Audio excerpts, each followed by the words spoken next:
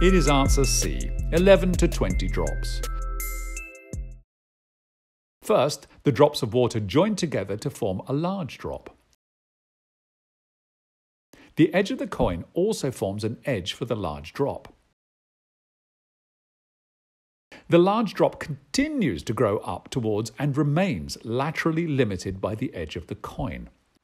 Due to the surface tension of the water, the coin can even be overfilled, i.e., the large drop of water protrudes a little sideways beyond the edge.